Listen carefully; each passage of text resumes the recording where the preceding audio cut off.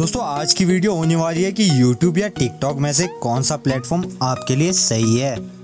आजकल YouTube versus TikTok controversy चल रही है। जिसको इसके बारे में नहीं पता, वो आई बटन पर क्लिक करके जान सकता है। मैंने उस पर भी वीडियो बनाई है।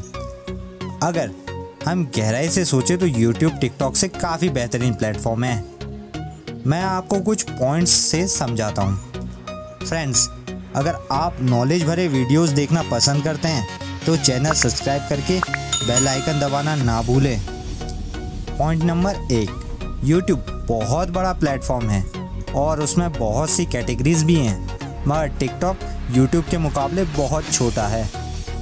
पॉइंट नंबर टू यूट्यूब ऐसी जगह है जहाँ आप कुछ भी ढूंढ सकते हैं। जैसे अगर आप हंसना चाहते हैं तो आप फनी वीडियो सर्च कर सकते हैं। अगर आप कुछ सीखना चाहते हैं तो आप वह भी ढूंढ सकते हैं। मगर टिकटॉक में ऐसा कुछ नहीं होता। पॉइंट नंबर तीन। यूट्यूब हमें नॉलेज प्रोवाइड करता है, बट टिकटॉक बस हमारा टाइम बर्बाद करता है।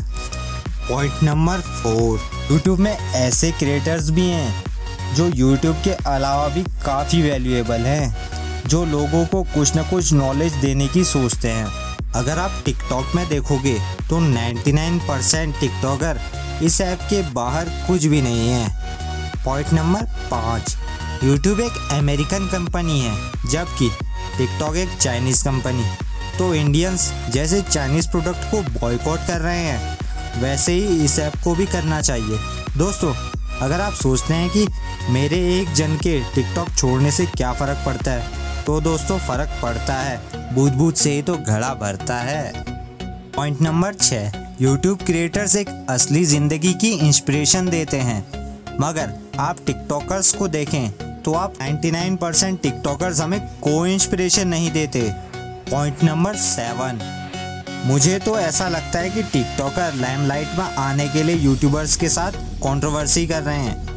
टिकटॉकर्स लोगों को यह बता रहे हैं कि असली जेम वही है, मगर रियलिटी हम सबको पता है। दोस्तों, कमेंट करके बताइए कि आपको क्या बेटर लगता है यूट्यूब या टिकटॉक?